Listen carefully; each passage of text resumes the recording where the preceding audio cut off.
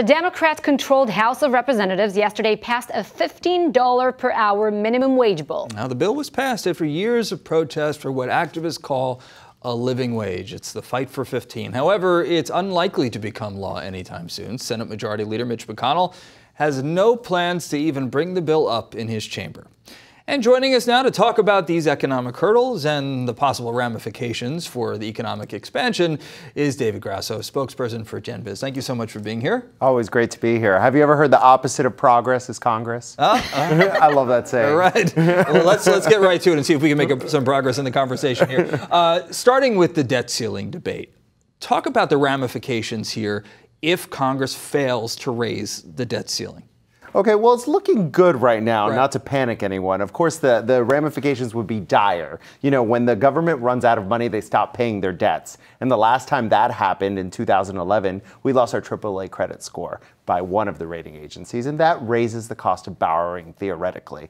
Of course, this is the United States. It's one of the most stable countries financially in the world, but it would definitely tarnish our reputation. But just so people understand the debt ceiling, it's a very bizarre way we do things in Washington. We decide what we're going to spend, and later we figure out how we're going to pay for it. Okay? So true. You know, the, the Sounds responsible. Thing, the good thing about this debate is first that we're actually talking about the national debt, but the ba- the bad thing I think that we're talking about raising the debt ceiling. Is is that the, the solution here?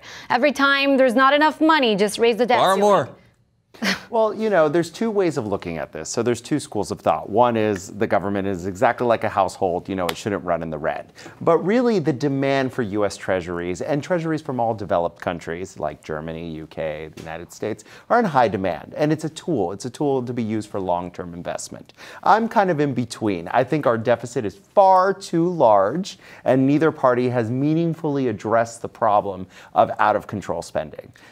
Uh, President Trump today had made some comments that, uh, you know, he would hope that Democrats don't play politics with the debt ceiling. However, a couple of media outlets were very quick to point out that he was hmm. doing just that back in 2012, where he was saying that he would hope that Republicans did use the debt ceiling as a negotiating point.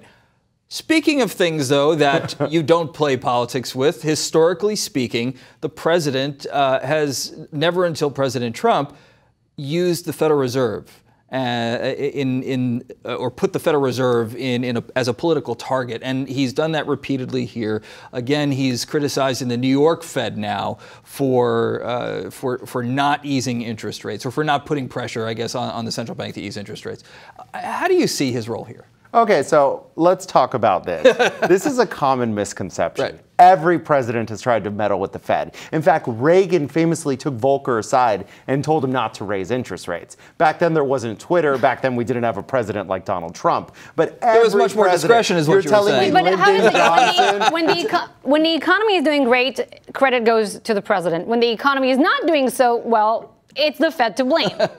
You know, the economy is doing fairly well, and the Fed has a, a, tough job to do. It's really hard to run the world's largest economy. And if they raise interest rates too fast, that's like pressing the brakes on the economy. Mm. If they don't raise them fast enough, it fuels inflation. So I do not envy their job. And it's very hard to understand when it is the right time to raise or lower interest rates. So we don't have much time, but I have to ask you the House passed the bill that would raise the federal minimum wage to $15 per hour. Your thoughts? Yes well, evidently the Sanders campaign doesn't pay their own people $15 dollars an hour, which is a bombshell. You know, there's a lot of studies that conflict on this. What we've learned, especially from a study in Seattle, is that raising wages tends to produce a system of winners and losers, and it increases unemployment. So we have to be very careful with these prescriptions. Here in New York City, $15 an hour isn't a lot. In Wyoming or Montana, it's a lot of money. So that, I think, is better left to the states than the federal government. Congressional uh, Budget Office actually had argued, or they put forth the data that if we see this $15 minimum wage, that it could result in 1.3 million fewer jobs. Absolutely, and we have to be really careful with these federal mandates that don't work for everyone across the country.